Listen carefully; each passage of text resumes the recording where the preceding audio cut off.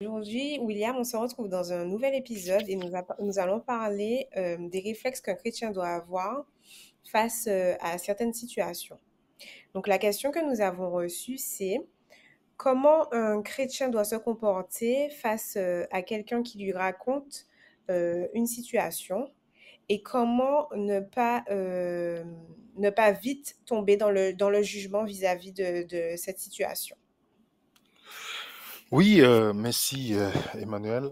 Je pense que chacun d'entre nous, on a vécu ça d'une manière ou d'une autre, euh, des situations où soit, la plupart, je me dis, on est victime de ce genre de choses où les gens, quelqu'un vient, voilà, raconte à quelqu'un, parle mal de toi, tu vois, ou de, voilà, ou de moi vis-à-vis d'une personne, et ou peut-être quelqu'un vient nous parler mal de Peut-être quelqu'un me parler mal de toi, Emmanuel. Quelle est la réaction que je dois avoir en tant que chrétien? Parce que généralement, on, bien qu'on soit chrétien ou on soit religieux, peu importe, comme je dis toujours, la religion ne transforme pas les gens en fait. Tu vois? On peut dire qu'on suit Jésus, mais notre façon de réagir vis-à-vis des problèmes, on le fait selon la chair. Tu vois? Tu vas voir qu'un chrétien va dire, oui, je suis Jésus, mais il ne suit pas Jésus dans la façon de fonctionner. Jésus dit ceci. On va d'abord lire, je pense, Matthieu, chapitre 7, le verset 1er. Matthieu 7, verset 1. Ne jugez point afin que vous, que vous ne soyez point jugés. le verset 2, s'il te plaît. Car on vous jugera du jugement dont vous jugez, et l'on vous mesurera avec la mesure dont vous mesurez. Tu vois déjà, Jésus donne quelque chose de très intéressant ici. La façon que toi tu vas juger, c'est comme ça qu'on va te traiter aussi. Mhm. Tu vois? Parce qu'il y a un jugement qui amène à la condamnation. C'est ce qui est pratiqué généralement. il y a un jugement qui amène au discernement. Je vais te donner un exemple. Si on lit, si tu peux lire pour nous, Jean chapitre 7, verset 24, Jean 7, verset 24. Alors, ne jugez pas selon l'apparence, mais jugez selon la justice. Tu vois, ici, Jésus appelle un jugement qui amène au discernement. Ouais. Parce que quand, le jugement qui amène au discernement, c'est quoi, Emmanuel? C'est le fait que je juge selon la justice. Quelle justice? La mienne ou celle de Dieu? Non, celle de Dieu, bien sûr. Alors, si je juge selon la justice divine, c'est-à-dire que nous, moi et la personne qui a commis le, le, qui a le problème ou qui a créé la situation ou qui a péché, on est pareil devant Dieu. C'est ça. Alors, ce qui fait que ce discernement, le fait que Dieu me permet de voir le défaut de caractère dans ta vie, Emmanuel, il m'appelle à l'intercession en fait, et non à la condamnation. Tu vois, c'est quoi Jésus dit, ne regardez pas l'apparence, juste selon la justice de Dieu. On peut aussi voir 1 Corinthiens 2, verset 15, si tu peux lire pour nous. Oui, bien sûr. 1 Corinthiens 2, verset 15, qui dit L'homme spirituel, au contraire, juge de tout et il n'est lui-même jugé par personne. Pourquoi il parle de l'homme spirituel? Quand, tu lis bien le jugement dont Paul parle, ça veut, dire que, ça veut pas dire que quelqu'un spirituel, ça soit, il condamne les gens. Non. Il juge selon l'esprit, en fait. Mm-hmm. Donc, quelqu'un qui est animé de l'esprit de Dieu, comme Jésus l'a été fait, montre-moi un moment où Jésus a créé dans une, la femme adultère, par exemple. Regarde l'attitude de Jésus. Il a plutôt vu le cœur de la femme. Tandis que les autres qui ne voient pas dans le cœur ont condamné, lui qui ne voit, lui qui voit dans le cœur, il a compati. Donc, quand on te dit, on te parle mal de quelqu'un, qu'est-ce qui te pousse directement à te ranger dans le, dans le côté de ceux qui font le jugement de la condamnation? C'est soit tu as un problème spirituel, de toi, parce que juger les gens, Emmanuel, ça ne définit pas ce qu'ils sont, mais ça définit qui on est. Tout à fait. Je répète encore, peut-être que les gens ne vont pas saisir. Ah on, vient de, te dire que quelqu'un, qu'une amie que tu connais ou un ami a volé. On te dit peut-être, oh, il a volé quelque part. Quelqu'un vient te le dire. Ce, en fait, devant Dieu, ce n'est pas parce qu'on a dit que ton ami a volé ou pas.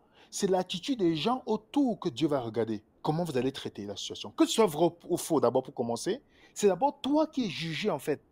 Juger les gens ne définit pas ce qu'ils sont, mais ça définit ce que nous sommes. Parce que Dieu va regarder comment nous traitons les autres vis-à-vis de la situation. Et nous aurons le même traitement en fait. C'est pourquoi on dit que le jugement est sans miséricorde pour ceux qui n'ont pas usé les de miséricorde. Tu vois? Oui. Donc, dans toutes les situations, quelle est l'attitude que le croyant doit faire? Imagine, on vient te dire, ton ami a volé. La première chose, j'aime bien ce qu'on appelle les trois tamis de, Socrate. Ceux qui, ceux qui veulent savoir plus loin, ils peuvent aller sur Internet. C'est quelque chose qu'on raconte, une sagesse dans la Grèce ancienne, où quand on venait dire quelque chose de mal, on parlait mal de quelqu'un à Socrate, il posait trois questions. Est-ce que ce que tu as me dit, est-ce que c'est vrai ou non? Ça veut dire quoi? Est-ce que tu as vérifié? Est-ce que tu es allé auprès de la personne dont tu veux me parler mal? Je sais pas ce que tu vois un peu, euh, Emmanuel. Oui, bien sûr. Les gens ne font pas ça. Et ce que Socrate dit, c'est biblique en fait. Matthieu 18, verset 15, Jésus dit, si quelqu'un a péché, va le voir d'abord toi-même. Il ne dit pas d'appeler ton cousin, ton ami, ta soeur. Il dit va voir la personne que tu penses qu'elle a péché. Tu te rends compte que parfois tu apprends que tu as péché via les autres personnes. On n'est jamais venu te parler en personne en fait. C'est ça. Donc cette personne déjà qui a fait ça a péché devant Dieu. Elle ne se rend pas compte qu'elle est déjà condamnée devant Dieu le fait que tu n'as pas respecté la méthode de Dieu. Si je me rends compte que tu as péché, tu es la personne que je viens d'abord, j'appelle. Emmanuel, il y a telle chose. Dis-moi, est-ce que tu penses tout ça? Je discute. Si tu, si tu ne m'écoutes pas maintenant, comme Matthieu 18, à partir du verset 15 dit, si tu dis, je ne veux rien savoir, William, parce que le but de t'appeler, c'est pour te gagner en Christ, en fait. C'est pas pour te condamner. Parce que les gens ont une mauvaise approche vis-à-vis du péché, en fait. Tu sais, est-ce que tu sais qu'il y a beaucoup de personnes qui, ont péché, ou peut-être qui n'ont pas péché, mais toi qui penses que la personne a péché, tu viens avec avec tes idées déjà dans ton esprit, rien que ton attitude négative a créé plutôt une situation négative au point où la personne n'a pas voulu t'écouter en fait. Mhm. C'est ça. Donc l'approche des gens, parce qu'ils ont entendu que, ah, comme la personne a péché, je vais l'appeler pour lui montrer à quel point elle est méchante. Non, tu n'es pas chrétien en fait. Quelle est l'attitude? Tu ton, Jésus te dit, l'objectif c'est de gagner ton frère. Tu sais que ton frère a péché. On vient me dire, Emmanuel a péché. Ma précipitation, c'est de voir comment je vais gagner Emmanuel. Je l'appelle pour voir si elle, elle a détourné le grand chemin pour le ramener. Nous tous, on est faillibles. Tu vois ce que je veux dire? Oui. Et c'est pourquoi tu dois d'abord vérifier. Aller vers ton frère pour le gagner. Si c'est vrai, si tu dis, ah, moi j'apprends parce que on peut parler mal de toi, tu n'es pas au courant, tu es surprise. Tu vois, tu vois ce que je veux dire? Oui. Donc, si c'est vrai, tu dis oui, c'est vrai, mon frère, j'ai péché. Ok, quelle est mon nature de gagner? Si c'est pas vrai, déjà j'ai résolu un problème. Ça veut dire que je n'ai pas laissé l'autre personne me manipuler, pas ses émotions ou pas quoi que ce soit. Parce que les gens, quand les gens ont une haine contre toi, Emmanuel, ou contre quiconque, la, la chose qu'ils ont comme capacité, c'est de recruter les gens pour te haïr. Quand tu vois déjà qu'il y a plusieurs personnes qui sont affectées par la haine vis-à-vis de quelqu'un, donc ils n'ont jamais, ils sont jamais allés vérifier eux-mêmes l'information, sache que Satan est derrière. Ce n'est pas Dieu qui est dedans. dedans. Parce que la médisance disparaît lorsque tu rencontres quelqu'un qui est spirituel. Quelqu'un qui a un vrai discernement spirituel, il suffit que tu m'appelles pour me dire, ah, tu sais, telle personne a fait ceci, il a volé, il a menti, il a volé, il a fait ceci. Si tu es spirituel, tu vas tu vas éteindre ça directement. Mais si tu n'es pas spirituel, que tu es Chanel, ça, tu vas tomber dans l'émotion. Et tu vas commencer à faire quoi? Véhiculer comme les autres personnes. Et, tu sais quoi? Le pécheur a la capacité d'évangéliser négativement, c'est-à-dire, voilà son évangélisation. C'est ça, c'est répandre la rumeur. Exactement, mais ils n'ont pas la capacité de répandre la bonne nouvelle de Jésus sur la croix. Ils n'ont pas cette capacité. ils ne le font même pas ça dans leur vie. Mais pour la mauvaise nouvelle, ils sont capables. Donc, la première chose que Socrate pose, c'est quoi? Est-ce que c'est vrai? Tu vois ça? Donc, imagine beaucoup de choses qu'on aurait limitées si on avait d'abord vérifié. Mhm. C'est vrai. La deuxième chose qu'il dit, est-ce que c'est bon? Est-ce que ce que tu me dis, c'est quelque chose de positif Est-ce que c'est bon? Tu vois? Mhm. Donc, si tu me dis quelque chose, il dit donc, il, dit donc, si tu désires me dire quelque chose de mauvais ou au sujet de Platon sans être certain que c'est vrai, est-ce que c'est bon? Non. La troisième chose, est-ce que c'est utile? Quelle est l'utilité maintenant? Tu vois? Pourquoi tu veux me dire ça? Est-ce que j'ai besoin de ça Qu'est-ce que ça va. Quelle est l'édification que ça va m'apporter dans ma vie en venant, en venant me dire cette chose-là? Parce que les gens veulent t'amener dans le péché, en fait. Ils veulent que tu participes dans leur péché. Et généralement, la personne qui a recruté les personnes à te haïr, à la fin, quand tout le monde est en train de haïr, la personne se cache derrière. La personne se cache. Exactement. Elle n'est même plus dans la conversation. Elle, elle s'en va. Et on Tu voit pas que c'est elle qui est à l'origine, en fait. On- exactement. Mais la personne ne sait pas qu'elle est en train de se condamner devant Dieu. C'est pourquoi Jacques chapitre 4, il dit dans le verset 11, ne parlez point mal des uns des autres. Tu vois, celui qui parle mal d'un frère ou qui juge son frère parle mal de la loi et juge la loi. Or, si tu es juge, si tu juges la loi, tu n'es pas observateur de la loi, mais tu en es un, tu en es juge. Est-ce que tu sais que nous n'avons pas la capacité de juger, con- c'est-à-dire de condamner quelqu'un, Oui.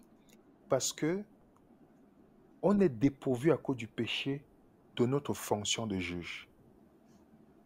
Adam a été créé pour être juge aussi.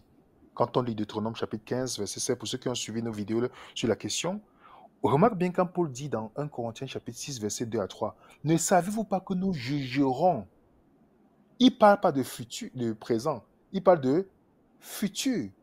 C'est quand les saints sont restaurés qu'on voit qu'ils s'asseyent sur la table dans Apocalypse chapitre 20, verset 4 pour juger avec Dieu. Parce que là, ils ont la capacité.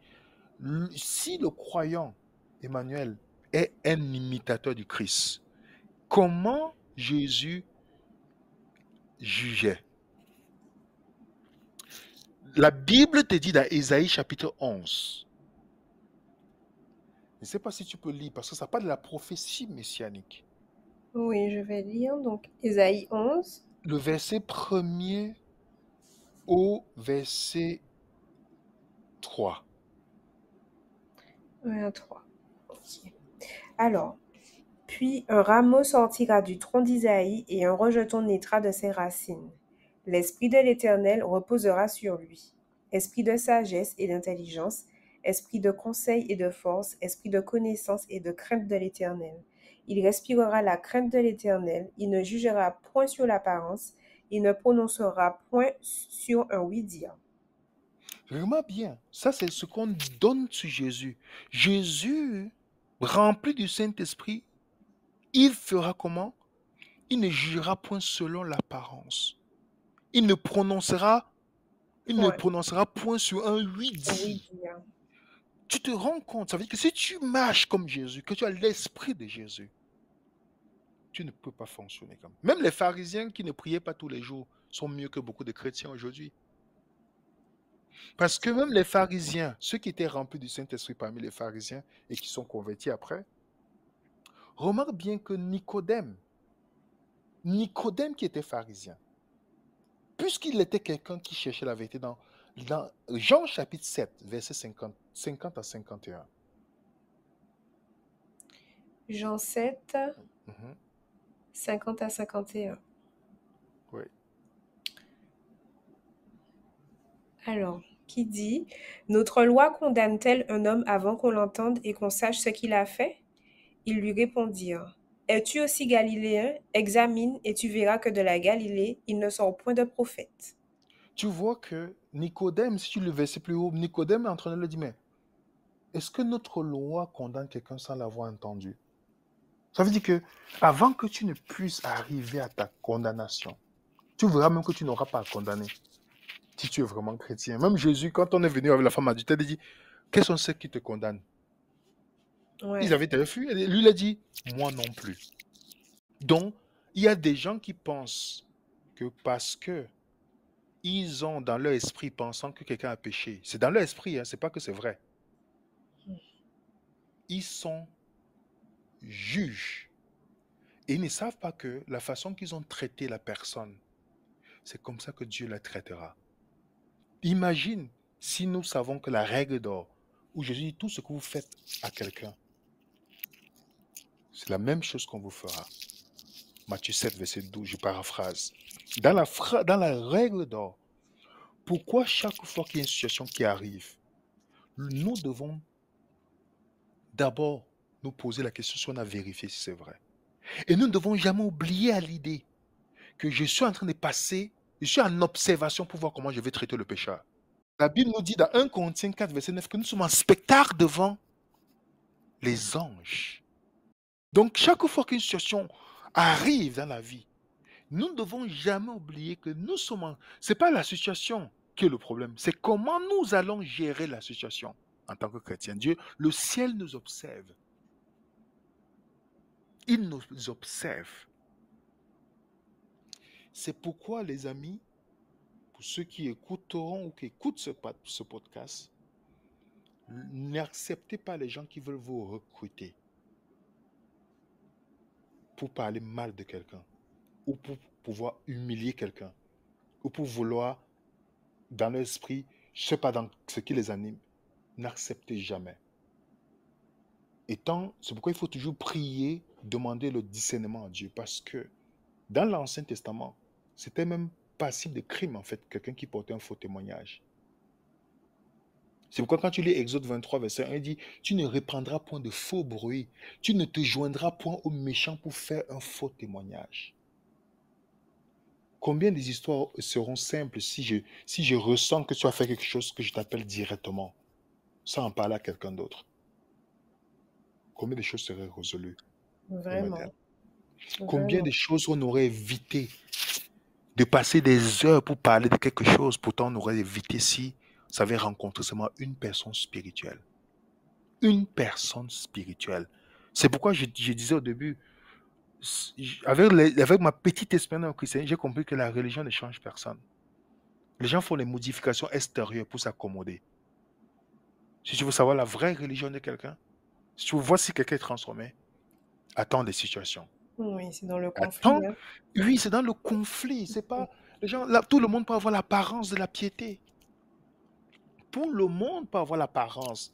Il y a des gens qui pensent que parce qu'ils ont mangé maintenant quelques morceaux de brocoli, ils sont devenus saints. Il y a d'autres qui pensent que parce qu'ils ont fait, ils font le sabbat, pourtant c'est une bonne chose, mais ils pensent qu'ils sont saints. Il y a d'autres qui pensent que parce que personne ne voit le péché privé, ils pensent qu'ils sont mieux que les autres. Est-ce que tu vois? Oui. Donc, la religion, c'est le conformisme. Mais la relation avec Dieu, celui qui démontre, ce qui démontre que tu as une relation avec Dieu, c'est dans ton traitement des autres, en fait. Ce n'est pas la connaissance. Ce n'est pas, Dieu n'est pas contre ces choses, ces choses, mais Dieu va regarder. Et, et, tu te rends compte, euh, Emmanuel, c'est que à la fin des temps, beaucoup de gens se focalisent en pensant que Dieu va les juger selon une loi. Tu vois, tu, tu, sais que dans le christianisme, les gens qui disent, qui attendent en disant, oui, Dieu va me juger si j'ai fait le sabbat ou pas, Dieu va me juger si j'ai fait telle chose, tous ces points. Mais Jésus te dit comment il va juger les personnes. Les gens ne lisent jamais ce point-là. Regarde, si, tu, si on voit ensemble Matthieu 25, 32 à 33 d'abord. 32 à 33, ok. Toutes, les nations, toutes les nations seront assemblées devant lui il séparera les uns d'avec les autres, comme le berger sépare les brebis d'avec les boucs. Et il mettra les brebis à sa droite et les boucs à sa gauche. Jésus fait ici une séparation. Les brebis à droite, les brebis, ce sont c'est les animaux qui n'ont pas de protection. Tu vois? Mmh, Oui. Les brebis dépendent uniquement du berger. Ça veut dire que même quand on parle mal de vous, ne cherchez pas à vous défendre. Ne cherchez pas à vous justifier. Parce que les brebis, le moins de défense, c'est Dieu. Parce que en croyant peut-être te défendre, tu vas peut-être, dans cette blessure que tu vas voir, peut-être nuire à l'autre personne, dans ta vengeance, tu vois. Mm. Les brebis dépendent uniquement du berger. Maintenant, les boucs ont les moyens de défense eux-mêmes. Ils sont à gauche. Les boucs, c'est des perdus, en fait. Les brebis, c'est des sauvés. Tu vois? Oui. Et regarde quand Jésus leur demande, Jésus leur dit, venez à vous, dans le verset 34, euh, tu peux lire s'il te plaît le verset 34 jusqu'au verset euh, euh, 40, s'il te plaît. Ok. Alors le roi dira à ceux qui seront à sa droite, Venez, vous qui êtes bénis de mon Père, prenez possession du royaume qui vous a été préparé dès la fondation du monde. Car j'ai eu faim et vous m'avez donné à manger, j'ai eu soif et vous m'avez donné à boire. J'étais étranger et vous m'avez recueilli. J'étais nu et vous m'avez vêtu, j'étais malade et vous m'avez visité. J'étais en prison et vous, vous êtes, et vous êtes venus à moi, vers moi. Pardon. Et, et moi bien, Jésus, il demande à Jésus, il dit, quand avons-nous vu étranger Quand avons-nous fait ceci? Qu'est-ce que Jésus dit? Tout ce que vous avez fait à ce petit, c'est à moi que vous l'avez fait. Comment Jésus les a mis de côté Est-ce que c'est par rapport à leur dénomination? Non, Est-ce qu'il a dit, pas. est-ce qu'il a dit venez à droite les méthodistes, ou venez à gauche les à droite les adventistes, ou venez à droite les catholiques? Non. Il y a des bonnes personnes dans toute cette dénomination, on est, d'accord? Oui, Mais c'est pas, il n'est pas dit cela, il a plutôt regardé comment? Comment il traite les au autres, prochain. Ouais. le prochain. Comment Joseph a su que ses frères sont transformés C'est qu'ils ont vu comment ils étaient prêts à mourir pour Benjamin. Tu vois ça? Oui, Le test qu'il a fait que ben, il va retenir Benjamin, le même Judas qui a dit vendons, c'est lui qui a dit je suis prêt à mourir pour Benjamin. Prends-moi, laisse Benjamin partir. C'est comme ça qu'on voit la transformation des personnes. Jésus dit voilà comment je vais savoir comment tu traites les autres. Donc, n'oublions pas, chaque jour qui passe, nous sommes en observation de notre façon. Donc, ne pense pas que ta saine doctrine, ne pense pas que ta connaissance, ne pense pas un seul instant parce que tu as décidé de mettre la jupe et puis tu mets pas le pantalon ou d'autres mettent ceci ou les bijoux, pas de bijoux, que tu penses que tu es fait. Ne pense pas que c'est ce que Jésus va regarder. Parce que le religieux peut faire ça. Jésus va regarder comment tu traites ton prochain. Donc quand tu te mets en te disant, oh, telle personne m'a fait ceci et fait ceci, sache que Dieu est en train de te regarder. Et c'est pourquoi Dieu nous appelle, quand il y a le péché dans la vie de quelqu'un ou quelqu'un a fait quelque chose, sachons bien nous poser des bonnes questions. Est-ce que je suis allé d'abord vérifier avec la personne? Si c'est vrai, Dieu m'appelle à une intercession. Est-ce que je me suis déjà mis à genoux, prier toute la nuit pour la personne afin que Dieu puisse visiter et guérir cette âme blessée Si je ne l'ai pas fait et que j'ai plutôt eu la force de faire des réunions sur réunions pour détruire le caractère de quelqu'un, le ciel me regarde. Et beaucoup de personnes vont être perdues pensant être sauvées, et pensant être sur la bonne voie. Ils oublient que Jésus ne va pas leur regarder leurs prophéties qu'ils connaissent. Il va seulement dire, j'ai vu comment tu as traité ton prochain. Voilà la chose que Jésus va retenir. Malheureux. Oh, et malheureusement, et beaucoup de personnes ne se rendent pas compte, Emmanuel.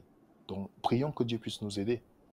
il faut que, il faut qu'on se remette en question et euh, mais pour ceux qui ne le faisaient pas, à partir de ce podcast, qu'on demande à Dieu en fait de toujours nous aider à avoir le comportement qu'il faut face, face aux autres, face à, notre prochain. Exactement. Moi, depuis un certain temps, en comprenant ça, je me suis dit, waouh, Seigneur, donc chaque fois qu'une situation arrive, ce n'est pas la situation qui est le problème. C'est plutôt que tu regardes comment je vais réagir vis-à-vis de la ouais, situation. comment tu gères, ouais, c'est ça, comment on Parce que c'est moi, comment je vais traiter la personne, c'est ça que le ciel est en train de regarder. C'est pas le problème qui est devant moi, mais c'est mon attitude vis-à-vis de ce problème. Parce que ce problème peut révéler le pire en moi, comme ça peut me permettre d'avoir un bon témoignage. Mm, Tout à fait. Merci William d'avoir euh, répondu à cette question. Nous espérons par la grâce de Dieu que, qu'elle aura aidé plus d'un. Et euh, on va faire un petit rappel de, des versets qu'on a, qu'on a abordés. Donc Matthieu, 15 Matthieu 18, pardon, verset 15. Bah, pas du verset 15, oui. oui. 1 Corinthiens 2, verset 15, me semble-t-il, c'est bien ça?